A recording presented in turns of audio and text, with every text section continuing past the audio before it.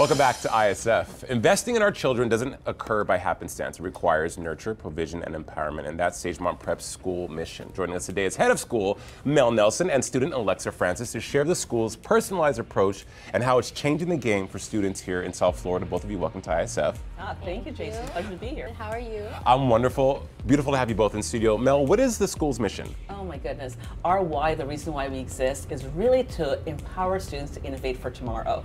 And at the end of the day, um, what we always think about is where do we want to see our kids? And entrepreneurship is an element that is embedded for us from our kindergarten, or preschool, kindergarten, all the way through 12th grade.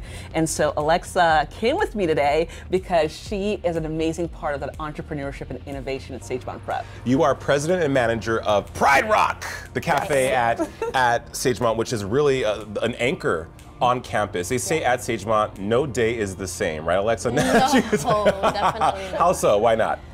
Yeah, so every day is definitely something different. Uh, keeps me on my toes. So if it's not in the cafe, it's like out. Maybe somebody's out, and I have to scramble and find somebody to work. So it's definitely You're busy. Crazy. I am. So tell us a story about Pride Rock because you do so much for the students. Yes. Not only do you have the cafe, which is a great place for students to have a place of community Yeah. to come. It's like um, friends, you know, Central Yes, Park. is. We're going to Pride Rock to hang out. Free Yes. Wi-Fi. Gotta love that. But also, you you give back in a way that's that's supporting the arts. You have acoustic Thursdays, drive-in movies, all these really cool ideas. How was it? How was it born? So in 2016, we had a group of seniors come up with a business plan. They wanted to have their own cafe, so they pitched it to the office. They got a loan, and they kind of started this cafe in a science classroom. And it's really grown into something. Um, now we do so many events. We collaborate with our clubs on campus, so the Culinary Club.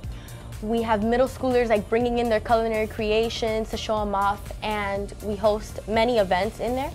And also our artists, they actually sell their art on the back of our walls. So, you know, all of Pretty our cool. entrepreneurs collaborate here in Pride Rock. A lot of different things going on. For yourself, what is the most exciting thing about being being such a leader there? Oh my goodness. I, I'll tell you, I'll give you an example, and I think that will say it all. This past Wednesday, we had our kindergarten kids um, attend, go to Pride Rock, and they're ki- our kinderpreneurs, and so they're, they're Kinderpreneurs? Kinderpreneurs. So adorable. And they're doing their Kinder March coming up very soon, so they all have to actually pitch a business plan, and they have to have it come to life. And so they came up, they uh, met with Alexa and her team, and they pitched their business ideas and got feedback.